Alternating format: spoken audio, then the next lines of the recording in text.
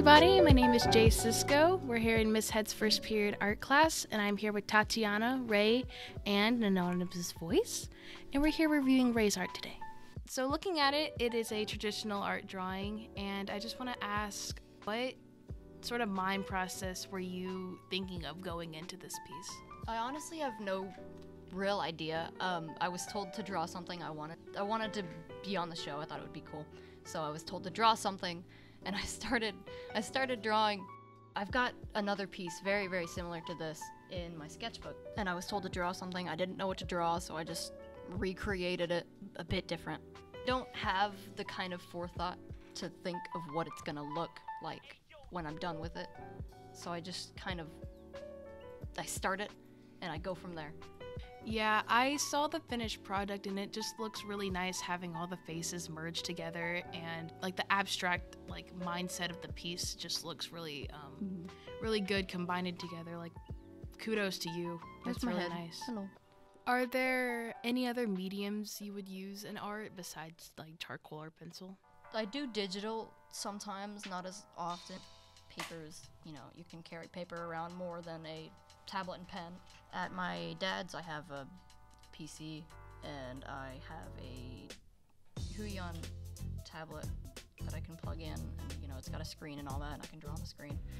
But I honestly prefer traditional now. I really, really like digital, and I'd like to get better at digital because I don't have a lot of practice with coloring and things like that. But traditional is honestly just easier, and I'm a little more comfortable with it now because I've been doing it for five five years, I think. I use pencil, um, obviously for sketching, and then I went in with charcoal, Charcoal. um, with a paintbrush that I have in my bag.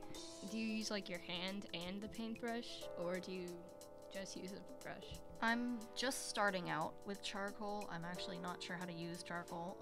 I'm just kind of experimenting with it. Kind of, I tear off a piece of paper, I rub charcoal on it, like I scratch it with charcoal, and then I go in with the paintbrush, like kind of smudge the charcoal, and then I, and then I go in with the brush on darker darker areas of the sketch that I think should be shaded um, because with pencil you can only get so dark with it uh, before it just kind of glares Honestly, you can just get you can just get a little bit with pencil before you can go so dark that it just gets a really bad glare. But the charcoal honestly gives off a more darker tone without having that really, really, Yeah. really bad glare yeah to it. So Yeah. you're just using the charcoal as like a like a paint almost. yeah almost. Um, and I mean I kind of use it the same. I'm not experienced with painting but I'm you know it's kind of the dip it in put it on the paper you know. That's that's you know that's how I'm using charcoal. I'm not sure how an expert would use it but I'm just kind of yeah, going I see right here you're doing some of the yeah there's Yeah. charcoal.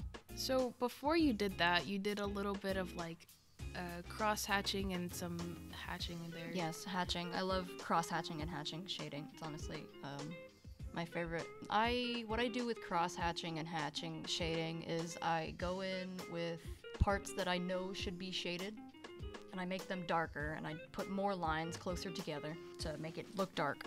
And then I go in with areas that aren't shaded as much, like I'm doing here with charcoal. First, I do hatching and cross hatching shading, and then I go in with charcoal to make it darker where it should be darker. But with hatching and cross hatching, I just kind of shade all around the art and get kind of a basis of where the lighting is coming from and where the shading should be. Sorry, I have to get close to papers because I'm uh, visually impaired.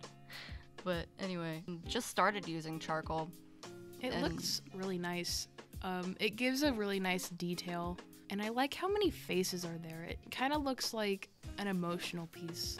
And then the hatching and the cross hatching obviously add nice little bit of shading. And for some of us who don't know what cross hatching is, it's a form of shading where you make little lines and get darker or lighter as you go on, and you just keep going vertically and diagonally through the lines. And it's a nice way of knowing how to shade and where to shade. Basically, think of a um, art in a Dr. Seuss book. How he Yeah. shades. It's Yeah. lots of little lines, and they overlap with each other and make shading.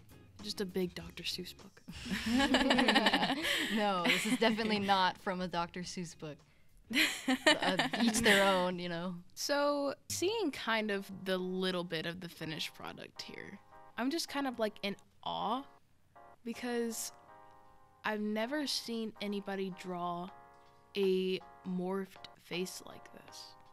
It's very interesting to look at Yeah. and it just makes me want to go draw it. Like I have the urge to just do that right now. Like It's it's honestly really cool. I really love eyes in artwork and how they're so much lighter than the shadows that are around them Oh, yeah, I and make them it. stand out. I it's incredible. I like eyes that kind of blend in with the rest of the face. hmm That um, if you add little specks of light, brings them out. It, it's all about contrast. Yeah. just the finished product looks amazing. It's very realistic and I am in love. And I would absolutely love to see more. I think that is our time today.